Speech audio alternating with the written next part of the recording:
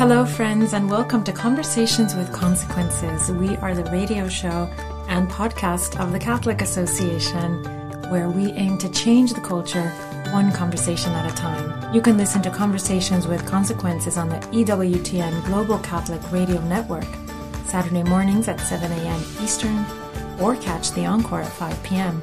We are also on Sirius XM Channel 130.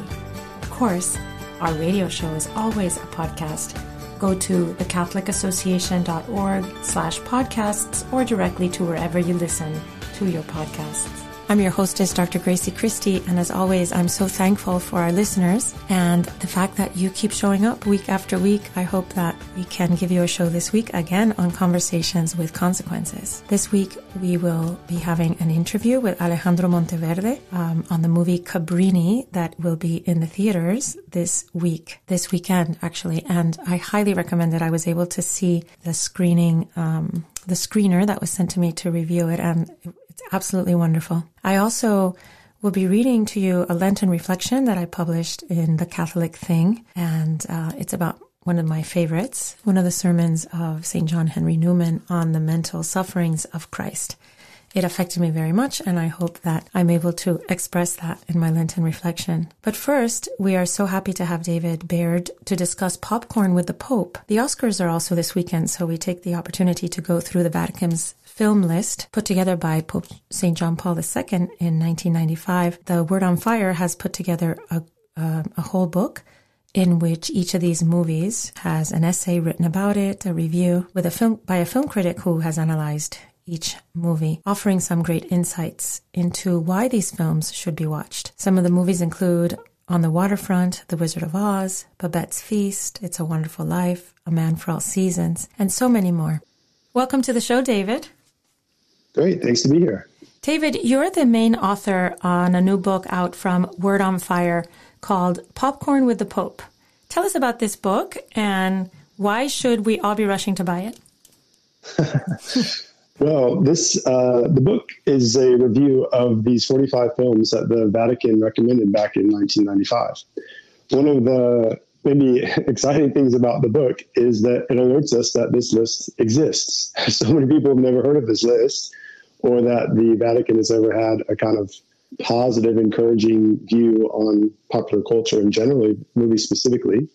Uh, so this is an introduction to those films, and it's a pretty interesting list.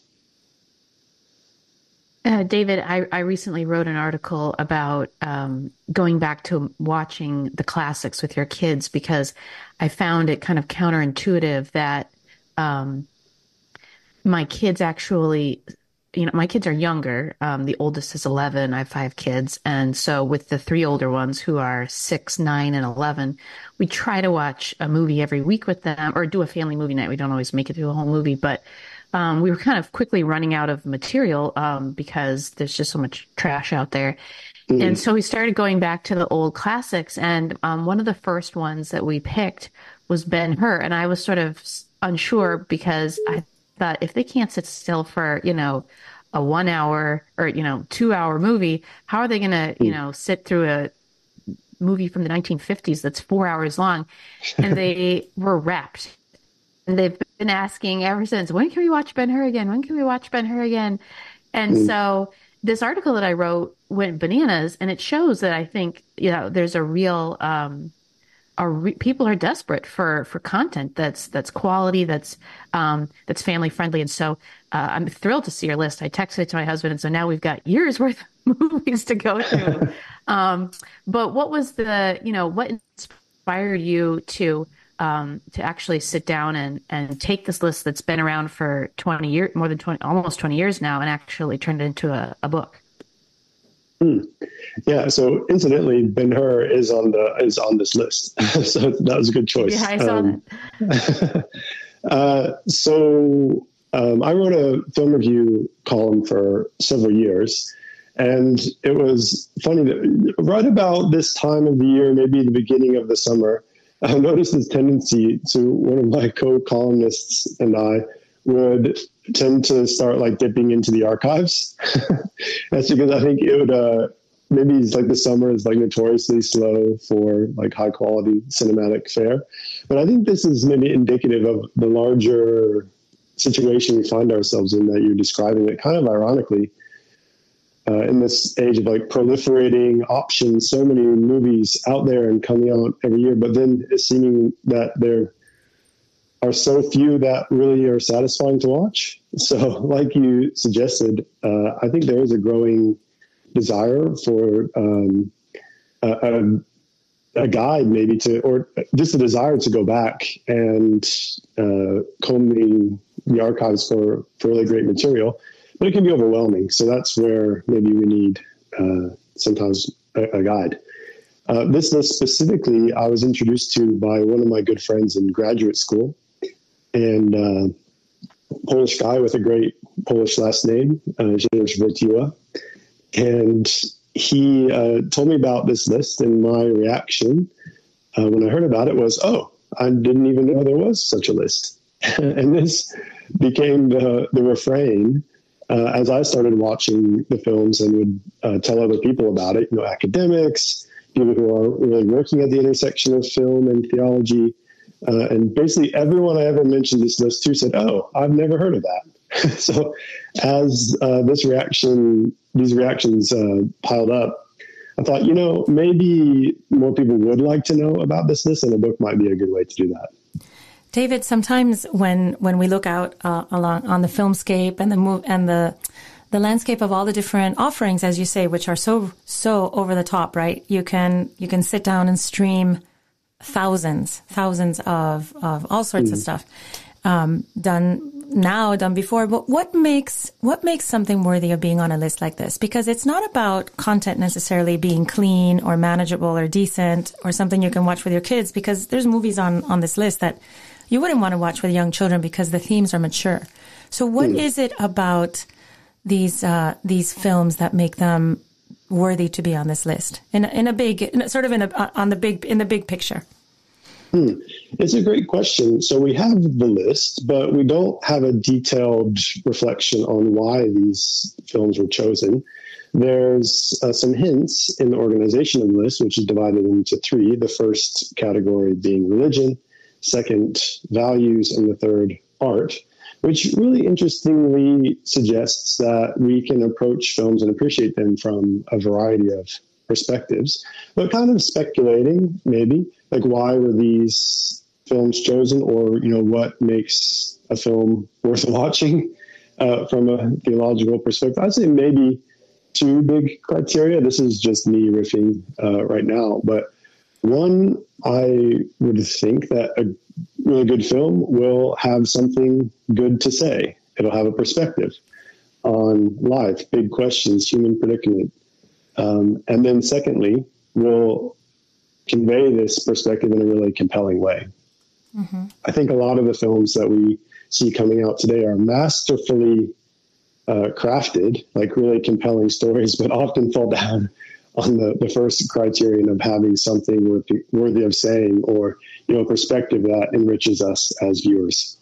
And also sometimes, um, or maybe almost all the time, the fare that's out there now in general is um, it glorifies uh, parts of of our natures which sh- should not be glorified frankly right mm. or uh, i mean it happens to me very often not right now because i gave it up for lent but it happens to me very often that i'll i'll put something on on on a streaming channel just to to entertain me while i blow dry my hair or i do my nails and and i have to turn it off because it's it, it makes me feel gross inside. Just the, and I'm not even talking about nasty things. I don't watch things that have, um, you know, egregious things in it, but just like a sort of a general feeling of hopelessness and despair or mm. or that everything's wrong and there aren't any heroes and human virtue doesn't even exist. That's the feeling I get from so much modern fare and and and it's what I imagine is in is not present in these films that the Vatican recommends. Yeah, I think that's right. I mean, a lot of these movies on this list, they deal with difficult, harrowing topics. Like, I don't know, roughly a third of the movies are dealing with either directly or the fallout of the world wars. So, you know, big, tough, complicated uh, human things from history. Mm-hmm. Uh, but as you suggest, uh, these films, I think the way that they approach them, the out of frame, as it were, the way that there's uh, is is moral or you know consistent with um, the way that I think uh, Christianity would have us uh, view the world. So I think I think you're you're dead on to to diagnose that so many of the the things that we could just casually stumble across in our Netflix scrolling these days uh, deal with these difficult topics, but not in a way that's like ultimately edifying, helpful. Mm-hmm. So I don't think that we really need to shrink from difficult things um, from cinema, but it really does matter like how they're portrayed.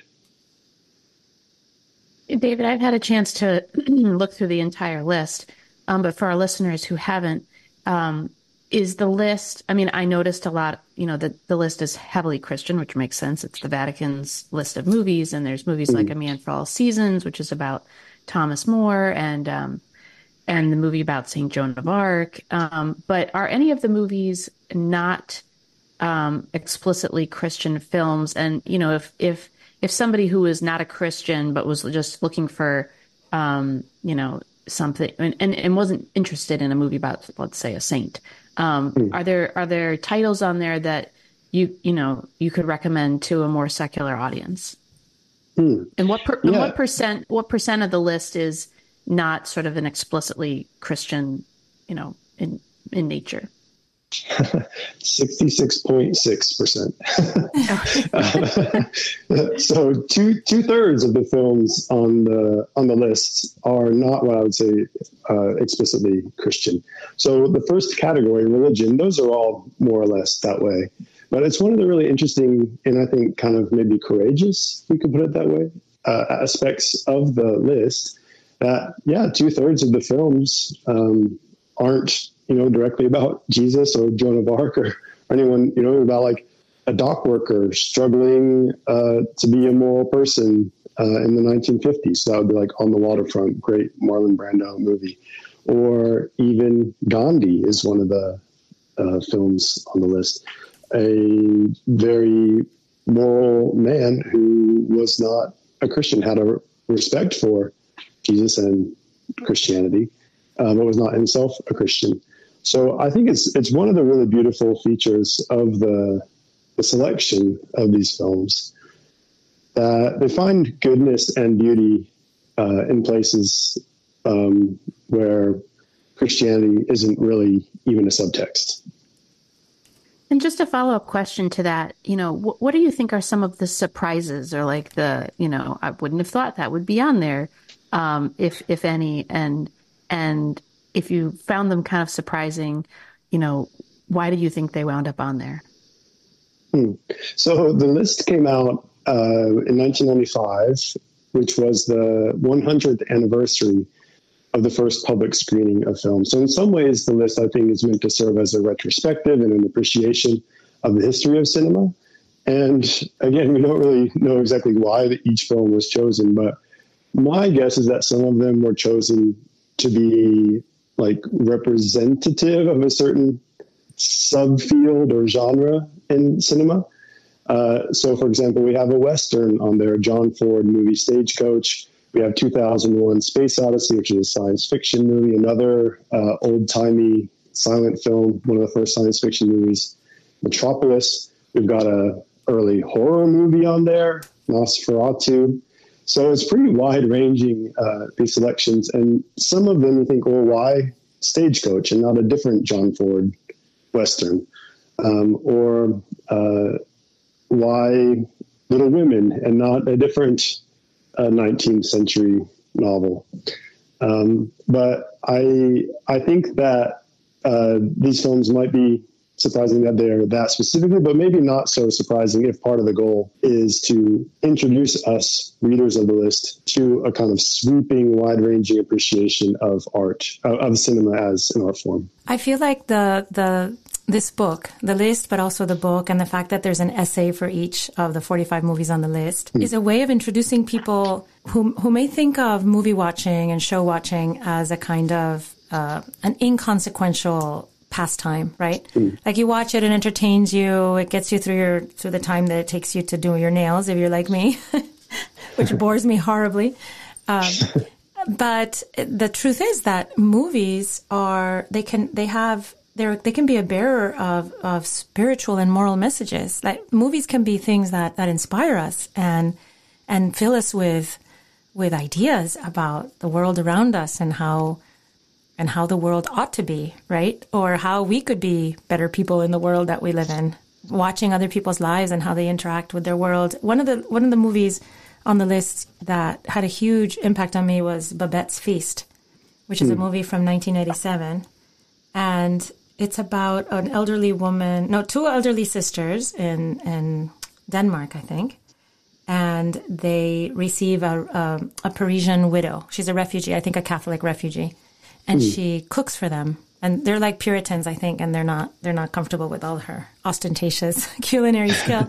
But yeah. it, I don't know much about Babette's Feast and what really the movie the movie the the director was trying to express and the and the, the script writer. But it felt to me like it was an explanation of the Eucharist, right? The kind of over the lavish feeding uh, that Jesus does for us that on the altar, how he overfeeds us and how he wants us to to to be satisfied and overly satisfied and enriched and it's almost decadent, right? What Jesus does for us. Mm. And well that's the kind of thing that if you if you're not looking at movies, um, if you're not looking at, at movies as bearers of truth, you may miss completely. And maybe I'm wrong about Babette's Feast. Maybe I made that up entirely. Oh no, I think you're not alone in that uh, in the way you're reading the film there. what do you think about that? About introducing people to to movies as bearers of truth? Oh, it's a great point. I my sense is that a lot of us, without really realizing it, have grown up in our cinematic uh, lives basically doing the equivalent of like always eating at McDonald's. mm-hmm, mm-hmm. Uh, we're, we're really just used to something that's fast and easy and has like instant gratification. Maybe it makes us feel a little gross afterwards, but you know, that's just part of the what you do when you go to McDonald's or, you know, sit down and watch a movie. Whereas there's this whole other universe of uh, movies, a, a grand cinemascape of really nourishing, delicious cinematic fare uh, and I think one of the great uh, things that this book can do is just introduce people to a small sampling of that, the possibilities. Uh, so I think one of the one of the things about like if you're not used to eating green beans, say, or a, a, steak, it might just taste like really weird and waxy or like so rich and overpowering. Um, but I think one way to approach the book, this book could be uh, as to offer kind of like samplings of different cuisines, as it were, from uh, the history of cinema. So one film, for example, that was a great discovery for me in reviewing all the, uh, you know, going through the, the list. And just to say, this isn't just my book. I have two co-authors as well, so you'll find um, essays both from me and uh, Andrew Petiprin and Father Michael Ward as well in uh, between the covers. But one uh, movie that was a great discovery for me was this one I'd never heard of, which is called The Tree of Wooden Clogs.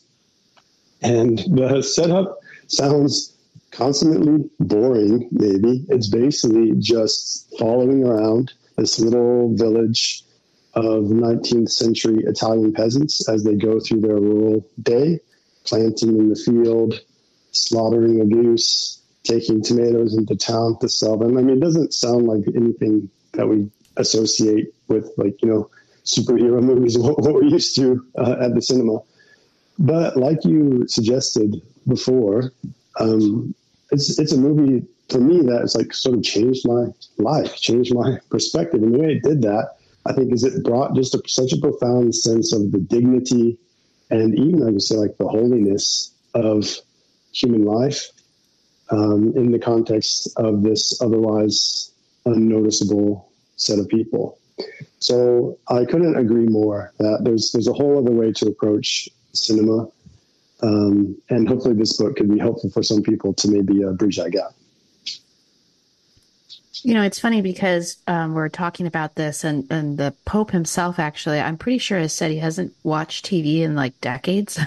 kind of a hmm. funny um, irony. And, you know, I'm sure he would in no way, I, I'm sure he would if he had seen these movies, or he's probably seen many of these movies, would say, you know, that they're wonderful. But um, you know, it's just kind of a funny irony. And so, you know, what what would you say to you know how would you answer the question you know why should why should catholics care about about film? Um, you know when we have a pope who doesn't even hasn't even watched a television in, in two decades. One thing is worth mentioning like the film that you mentioned babette's feast actually i think pope francis mentions it in one of his uh, encyclicals or uh, papal exhortations with approval. So that's one thing and you're right that you know that film came out 30 plus years ago um, but to your question of like, why should we engage? Oh, I think there are about a hundred reasons. Off the top of my head, one, it's enjoyable. Two, other people are doing it, which isn't in itself a reason to do it, but it can be a bridge to engage with other people. You know, how often you have a friend or a family member or colleague and you have something like a water cooler conversation about the most recent news item or movie that came out. This is another way to connect with people and maybe uh, in a more substantial way. If you've seen some of these, I'd say more like extraordinary, off the beaten path sort of films. Um, and also, I think for the reason that, that you mentioned, which is they can really enrich our lives. Why should we ever go to an art museum? Why should we ever listen to a symphony? Why should we ever read um, a novel that came out before 1900 or read poetry? Well, because the arts when they're done well, as you said so well before, can like really open up new horizons and give us a deeper appreciation of what it means to be human, uh, living in this world as we do, and even I think say like living in the presence of God. For Catholics uh, who are who take their faith seriously, and other Christians, and, and I'm, I'm sure other denominations of uh, believers, going to the movies or watching a movie you haven't read about or haven't looked up can be sort of scary, right? Because mm. you don't know what's going to surprise you and and you don't and I don't want to sound prudish, but years ago I decided and I and I'm sure a lot of our listeners decided this too at some point in their lives that you know you only have so much time and you and you want to use it wisely and you want to elevate the tone of your mind when mm. when you're consuming entertainment. So I think a list like this, well, first of all, I think I think the list and the book are incredibly useful, especially in this time of streaming where you can look up any movie. I was the other day, I don't know if this book, maybe you can tell me if this book is on the list. There's, um, so recently I wanted to watch, uh, I, wa- I was wondering if there was uh, a movie version of Under the Sun of Satan by Georges Bernanos, the novel, uh, the novelist, the French novelist, and there is, and it turns out to be an amazing movie. And you you can Google it and you can find it and you can stream mm. it. So how wonderful to have a comprehensive guide. I'm sorry that it stops in 1995 yes. I think there's been so many wonderful movies that that have come out since then that can have that could have a tremendous impact on on on, a, on an open mind and an open heart.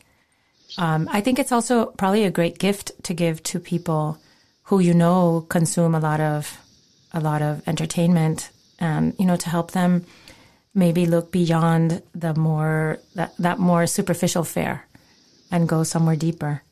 What can you tell us um, some of your favorites on the list? You personally?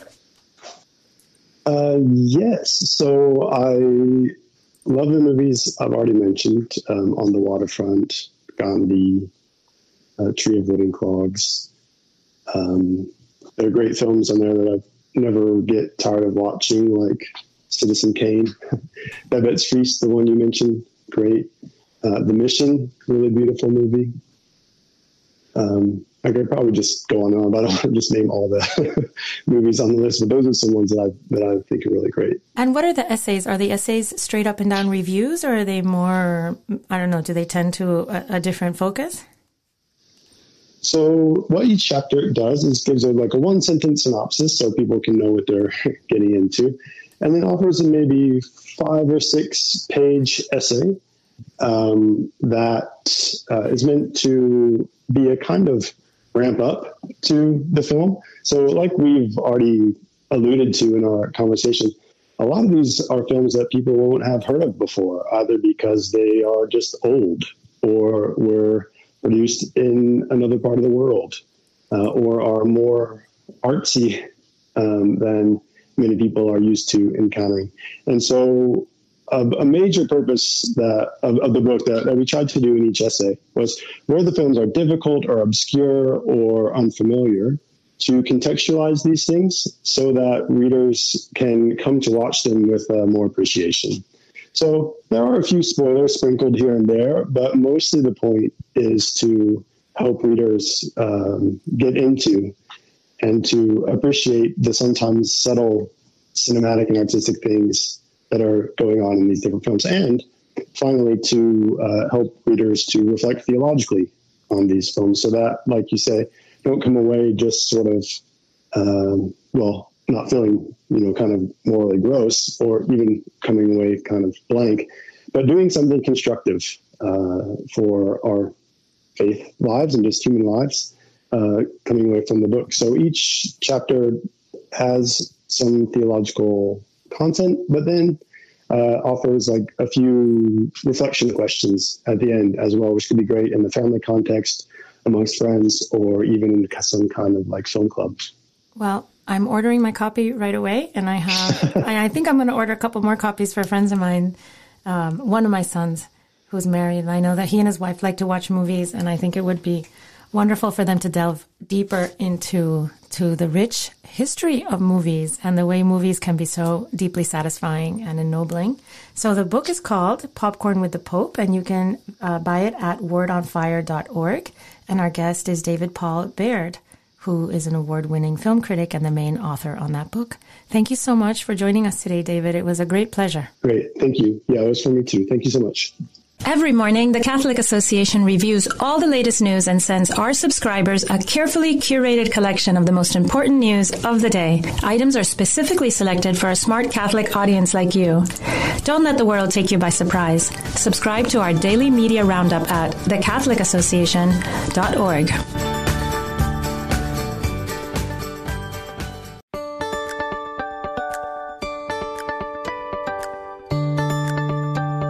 Joining us now is Alejandro Monteverde, distinguished movie producer and director of the most recent box office smash success, which I'm sure all of us have seen, Sound of Freedom. He also directed Bella and other pro life films. Bella is one of my favorites. There's a new film uh, of his that's coming out called Cabrini.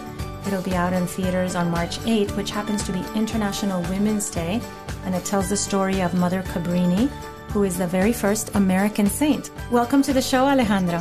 Thank you. Thank you for having me. Well, I was very happy last night sitting on my couch and uh, watching the beautiful film Cabrini that you just uh, produ- you just directed. That is going to be aired on International Women's Day, which is March eighth. And Maureen, my co hostess, saw it last summer, and she and I both very, very much enjoyed it. And I think it's a wonderful addition to a great canon of films from you, Alejandro. So thank you for making it. And, and tell us what inspired you and what led you to the wonderful Saint Cabrini. Well, I, I was just honored that, you know, this project came knocking on my door. I personally did not know who Cabrini was. I had uh, no knowledge of all her achievements or anything. I, I, I, knew nothing of her. And I was very surprised to not have known some nothing about somebody so powerful. Mm-hmm. And when I mean powerful is somebody who used all of her given talents, God given talents to, you know, live for others and, and change, you know, the world for those uh, that had no dignity and, and for the children that were living on the streets and the children of the immigrant. So uh, she was a revolutionary and I didn't know anything about her. So I, I, I got a phone call one day and, and from uh, Eustace Wolfington, who is not only my mentor, but he had a big devotion to her. And um, just literally was out of the blue. I got a phone call and she asked me if I would read the screenplay. And my first instinct was, I'll read it, but definitely this is not for me. I had a little prejudice because you know I wanted to make a movie and movie is supposed to be very entertaining and I just couldn't see how the life of in this case a nun could be cinematic in, in a way that could be entertaining you know a lot of times you do documentaries about characters like this it's very hard to do a very entertaining film. To my surprise, when I read the script, I realized that her life was extremely entertaining mm-hmm. and she was a revolutionary in many, many ways. And uh, she, her life shone a light in the world. So I, I saw an opportunity to shine a cinematic light in her life. So that's how it all began. And, you know, I was mesmerized by her story. I, I certainly was too. And I'm wondering, could you flesh this out a little bit for our listeners? Because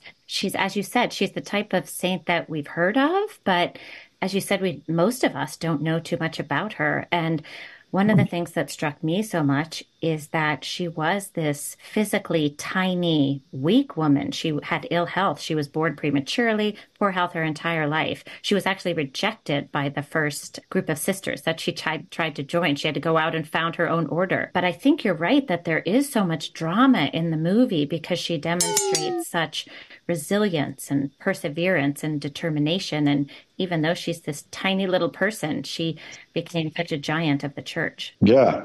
I mean, this is the ultimate underdog story in many ways. You know, it's, it's, it's Rocky. It, she came here with nothing as a woman in a time where women had no voice. She was one of the first women to lead an overseas mission just led by women uh, into a country that was not very welcoming to Italians.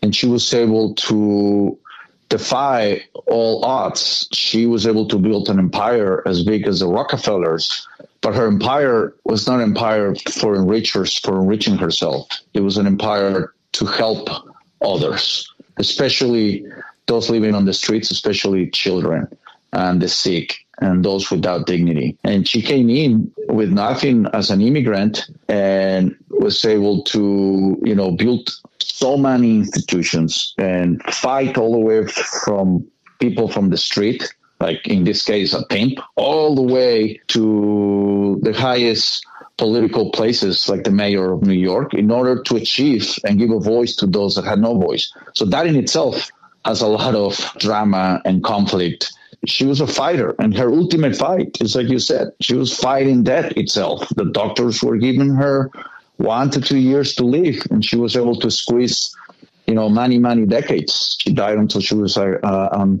her late 60s so you know it's that kind of movie. She says a line in the film that it spoke to me very directly and i think it speaks to many people is you can serve your weakness or you can serve your purpose Alejandro, and we, we all have weaknesses and purpose. Alejandro, I have a, a, list of notes here to talk to you, and right across the top it says you can serve your weaknesses or you can serve your purpose. Because I Correct. I brought that line away with me from the movie, and I almost want to engrave it on on my my mirror where I brush my teeth because so often we are overwhelmed by the thought of our our frailties and the the things that we just can't get right, or we think we never be, will be able to get right. And what a wonderful example example, right, of of, of a person who whose single-minded um, devotion to a beautiful project is yeah. able is able to conquer all those own weaknesses. And the weaknesses that weren't just hers right? The weaknesses of being female the weaknesses of being an immigrant and the wrong kind of immigrant. Um, you know watching the movie last night as i saw it last night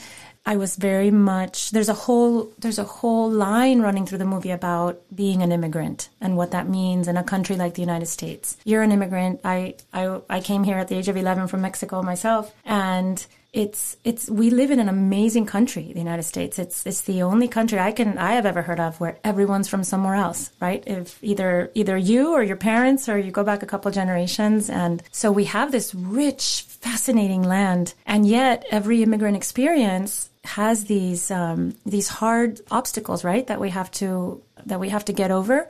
And in Cabrini's uh, in this wonderful saint's case was the prejudice against Italians even by the more recent, the immigrants right before them, which were the Irish. Was it was it really interesting to you to delve into that that complication of being an immigrant in the United States in this film? Yes, but you know, you said it. This is a very powerful and beautiful country. So if you think, yes, there was a lot of discrimination against Italians, but there's a line in the film that I love. It says, "One day, somebody." will be in this office and he won't be cleaning it and we already had a mayor, many, a couple different mayors that were from Italy, uh, exactly. uh, mayors of New York. So it shows you how an immigrant can come here and become a mayor. Yeah. Uh, you know, if you're from uh, descendants. So it is a country that even though it sounds like a cliche, it is the land of opportunity. And the film explores that because Cabrini came with nothing. And at the end, she built this one of the top hospitals of New York. So it, it is also reflects and, and, and, and, and celebrates um, all the, you know, opportunities that this country has to offer, even though you have to go through challenges, but like these are obstacles that can actually be defeated. You know, unfortunately, you can't say that about, other countries. You know, the, the, the obstacles are impossible to get to, to overcome. And in this case, it, it, it explores that.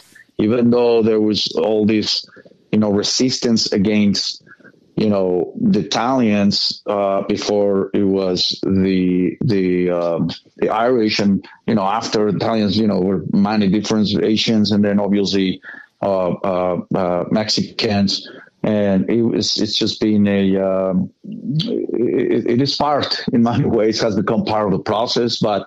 I identify with with the film a lot because I came here not even not even speaking English, mm-hmm. with really bad grades, and you know, uh, I was able to to you know get get into university, get my grades, get into film school, and you know the the the, the doors continue to open and the opportunities continue to open, and I, I I'm very grateful to to the, my immigrant story and identify with with with I think that's what the, the, what's so interesting about this this film is that this movie is not about immigration. It's it, this movie is about the immigrant, which mm-hmm. is very different. That's a, a great distinction there, and um, my father grew up in an area of New York City, an enclave of Irish immigrants, and it happens to be right near Mother Cabrini Park. So I know her legacy runs very powerfully, especially in that area of the city where she founded these hospitals and schools and orphanages. I think 67 in all, not just in New York City, but all across the United States and really all across the world. Something that was very touching to me was the story from her childhood when she seemed to first first have a sense of her vocation. There's this story of her placing little flowers in paper boats, violets, and dropping them in a stream and imagining that they carried her off to be a missionary in China. And when she went to the Pope, she asked to be sent to China, apparently, but he had a different answer and a different plan for her but but this story also sheds light on why her name is Saint Francis Xavier Cabrini. Could you share that story with us? Yeah, I mean, it, what was very interesting is, um, you know, the the writer of the film Rod Barr, he did a lot of research. I mean, I think he read every single book there is about her, but also he went to Lombardy. He traveled all around Italy, getting to know, reading documents that were not public, like the Senate that was not public. That's something that, you know, he found by diving really deep into the depths of, of her life you know, for me, my job was just to kind of create a cinematic experience of her life. She lived her life very artfully, and I wanted to depict her life in the most artistic and most cinematic way. So the film, when you finish, it leaves you in a state of reflection that inspires you in whatever you know battle you're facing. This is one thing that we've been seeing with with audiences. You know, the movie speaks to everybody in a very personal way, and you know, I can share many, many stories of different people that are facing different kind of battles. You know, I have had friends that, you know, are going through very difficult times in their marriage and they saw Cabrini and they're like, well, if she was able to fight for and, and accomplish all of that, maybe we give another shot to, to, to their, their given situation. Same thing with people that are struggling with any kind of things. So it is a very inspirational film. Uh, uh, you know, that it's, it's just I, I, like to make movies that begin when the movie ends. You know, when the movie ends, it leaves you in a state of reflection and you start questioning yourself about you know more profound and meaningful questions. And for me, I uh, there was a movie that I saw when I was in film school was Schindler's List. Was you know Schindler himself was a Catholic and he rescued thousands of thousands of, of Jewish lives.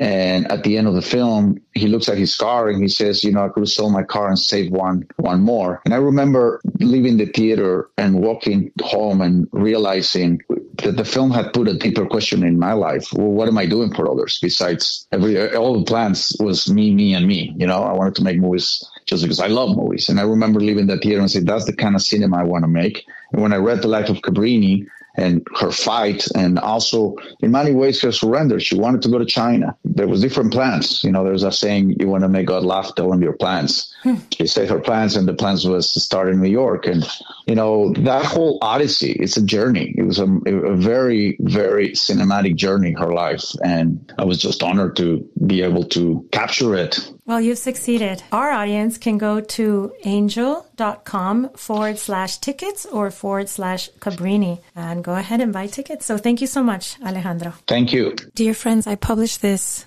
in the Catholic Thing, which many of you may follow, as so many Catholics do. It's a wonderful website with, I think, beautiful writers and, and, and lovely truths about our faith. I don't count myself in the beautiful writer category, but I wanted you to, I wanted to share with you a piece I wrote called The Severe Truth of Lent on February 16th, 2024.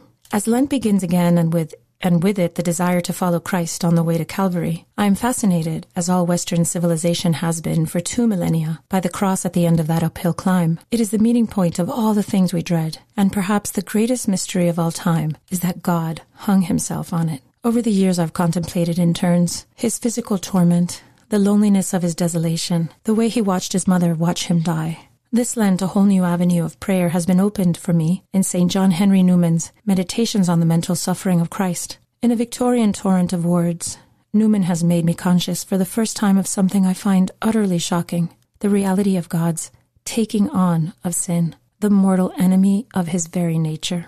Since my childhood, I have ritually asked for mercy from the Lamb of God who takes away the sins of the world. When I have done so, I think I usually have imagined a neat bundle of sins like dried sticks, tied to the back of a lamb, wandering bleeding into the desert. The lamb is snow white, pure and clean as only a lamb can be. The bundle on her back may bow her spine with its weight, but it doesn't stain her. It rests cleanly on her. It's a pretty picture, but childish. Newman's 1852 sermon, Mental Sufferings of Our Lord in His Passion, presents a terrible prospect to those who love Jesus that his bodily suffering was as nothing compared to the intolerable pain in his soul, and that this soul agony results not from the heaviness of sin, but from the fact of its being an invasion, voluntarily accepted. Far from simply carrying sin away, he opens his mortal nature to the attack of the evil one and lets the enemy's foul deeds infiltrate and permeate him. Newman's incomparable prose captures this facet of Christ's passion. There, then, in that most awful hour, knelt the Saviour of the world, baring his breast, sinless as he was, to the assault of his foe, of a foe whose breath was a pestilence and whose embrace was an agony. There he knelt, motionless and still, while the vile and horrible fiend clad his spirit in a robe steeped in all that is hateful and heinous in human crime, which clung close around his heart and filled his conscience, and found its way into every sense and pore of his mind, and spread over him a moral leprosy, till he almost felt himself to be that which he never could be, and which his foe would fain have made him. Newman goes on to describe the eternal purity, feeling like a foul and loathsome sinner stung by every drop of that mass of corruption which poured over his head. Of the experience of Jesus, looking at his hands and seeing them drenched in the blood of millions of history's innocents seeing through eyes profaned by evil visions and idolatrous fascinations, his lips defiled by oaths and blasphemies. Every vile sin committed before that day and since has homed in on him, is on him, and in him, their reek driving away the ineffable peace which has inhabited his soul since the moment of his conception. No wonder that during the agony in the garden, before the first Roman lash had struck him, the blood broke through his burning veins and out the pores of his skin, beating his whole body and soaking his mantle. Though it is hard to think of, or to bear for very long, we must look at this image of the immensity of God's mercy. You and I, we sin, but we barely notice it. We are comfortable with our sinfulness. It has been on us and in us since we were formed. But the pure one writhed under an alien agony, as though he were the criminal. Yet Jesus goes further. As Newman observes, his suffering even takes the form of guilt and compunction. He is doing penance. He is making confession. He is exercising contrition. For he is the one victim for us all, the sole satisfaction, the real penitent, all but the real sinner. Newman reminds us that Jesus does not allow himself to die until he has drained the cup, until full atonement has been made for my sins and yours, and those of every child of Eve whose deeds have covered our race with shame. It takes real Lenten courage to contemplate the furthest sadness, God's death. My own courage often fails me at far less painful sights. But Christ died, St. John Henry Newman tells us, not of bodily exhaustion or of bodily pain. No, having sipped the last drop, he willed his tormented heart to break, and only then did he commend his spirit to his Father. A severe truth to keep before us these 40 days. And now Father Roger Landry offers a short and inspiring homily for this Sunday's Gospel.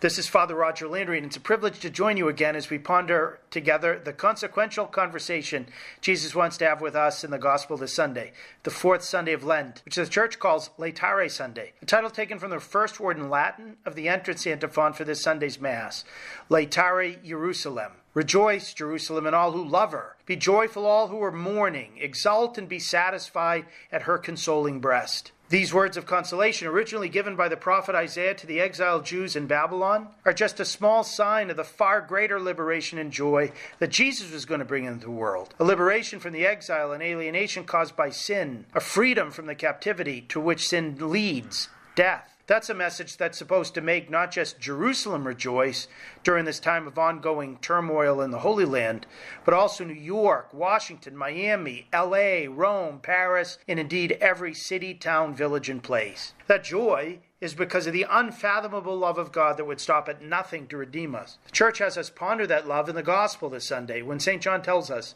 God so loved the world that he gave his only Son, so that everyone who believes in him might not perish, but might have eternal life. The evangelist adds God didn't send his Son into the world to condemn the world, to render us strict justice on account of our sins, but so that the world might be saved through him. Well, the human race was in a far worse situation than the ancient Jews in Babylon. God himself sent someone greater than the king of Persia to set us free. He sent his own son. When God the Father had a choice to allow us to die in eternal exile, or allow his son to take our place on death row and be brutally mocked and crucified, he loved us in some sense even more than his son. He chose to save our life by allowing his son to give his. This indescribable love is an incredible cause of, for joy. This love of God that would pull out all the stops in order to save us is the root of all Christian joy. But it's important for us not to hear this message in a softened and sentimentalized way. It's great that so many plaster John 3:16 on football stadiums around the country, proclaiming our joy that God loves the world and us so much. But at the same time, sometimes many don't see the contradiction when during those same football games, some players stomp on their adversaries with their cleats and curse in huddles, and as huge numbers of fans are getting plastered in the stands, watching scantily clad cheerleaders stoke their concupiscence like Herod Antipas and his drunken courtiers watch Salome dance. For us to enter into the joy that comes from Christ's love, we need to grasp what it cost and what response that love demands. Jesus describes that cost in his conversation with Nicodemus in the gospel passage. For those of you who have watched the crowd-funded television series The Chosen, you know that much has been made in the first season of Jesus' conversation with Nicodemus, not only as a member of the Sanhedrin, but also a searcher for the truth. In the gospel passage, Jesus challenges Nicodemus to open his mind to the truth he came into the world to bring. Jesus tells Nicodemus first about the need for baptism. Then he states in biblical language what he would do on the cross to make baptism effect what it signifies. Jesus tells us in this Sunday's passage just as Moses lifted up the serpent in the desert, so must the Son of Man be lifted up, so that everyone who believes in him might have eternal life. That was an allusion first to the work of the ancient serpent who got Adam and Eve in the garden to distrust God, to sin, and essentially to choose death over life. But then the illusion pointed to what God had allowed to happen to the Jews in the desert as they were complaining about what they had to eat and distrusting anew in the one with, who, with multiple miracles, had saved them from Pharaoh. The book of Numbers describes God allowed seraph serpents to slither among them and bite them with poisonous venom. The antidote God prescribed to save them was to have Moses make a bronze serpent and mount it on a staff and those who looked on that serpent, a reminder of the sins that had infected them with a fatally, fatal bodily and spiritual venom, they would be saved. Jesus said that he on the cross would become like that elevated bronze serpent. He would suck the poison of sin out of our wounds and take it with him to Calvary. As we sinners looked at him on the cross, we would see first just what our sins had done. Second, we would grasp that we can't save ourselves from our sins by our own efforts. And third, we would behold the great love of God who would take on those sins and the death to which they inexorably lead in order to provide us the saving antitoxin. But the type of glance we need to give to Jesus lifted up on the cross must not remain merely a thing of the lenses and the visual cortex. To be saved, we need to look with the eyes of faith a faith that has to become a way of life. That's what St. John express, expresses immediately after the consoling words about the depth of God's love. Whoever believes in Jesus, he tells us, will not be condemned, but whoever does not believe has already been condemned. He forcefully reminds us that just like those in Jerusalem prior to the exile refused to listen to the prophets, so we can refuse to listen to Jesus, to look upon him with the eyes of grateful faith, and to receive his free gift of salvation. This is the verdict, St. John states, that the light came into the world but people preferred darkness to light because their works were evil. For everyone who does wicked things hates the light, but whoever lives the truth comes to the light, so that his works may be clearly seen as done in God. To look on Jesus lifted up on the cross with the eyes of faith means to enter into the logic of the cross, means to heed Jesus' words we hear every Lent, to deny ourselves, pick up our cross each day, and follow him, leaving the darkness of sin behind and entering with him into the fullness of light. Like St. John, we must behold the one we have pierced and see the saving, transformative blood and water flowing from his side. Like St. Paul, we need to look at Christ and the cross in a way that leads us to become one with his saving love. I've been crucified with Christ, St. Paul would write to the Galatians. And it is no longer even I who live, but Christ who lives in me.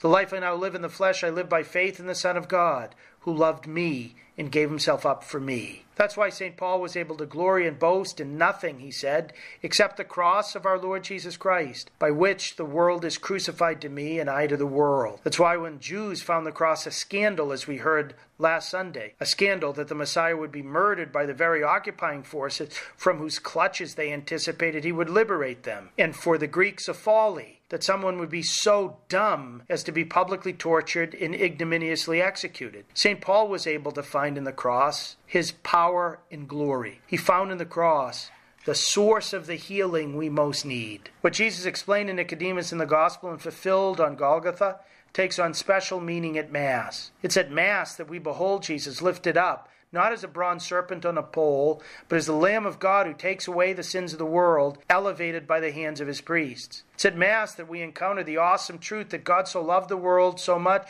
that not only did he give his Son in Palestine 2,000 years ago, but shows that love even more by giving us his Son daily on the altar and making his Son's forgiveness available to us in many places every day in the sacrament of penance. As we prepare for Mass, let's get ready to look on Christ lifted high on the cross, lifted up in the host, and say with St. John, and all the members of the church. We have come to know and to believe in the love God has for us. We have indeed come to trust in Him and in His saving mercy. We've come to believe in His light and to desire to live in the light of His truth so that all our works and indeed our whole life may be clearly seen as lived in God. So, laetare Jerusalem. Indeed, rejoice, Jerusalem. Rejoice, O world. Rejoice, listeners to Conversations with Consequences. God's merciful love is real, and God loves us so much that He never ceases to share that gift with us, so that we might not perish, but have life with Him forever. God bless you. With that, I leave you, and thank you again for being our listeners, and we continue to pray for you always.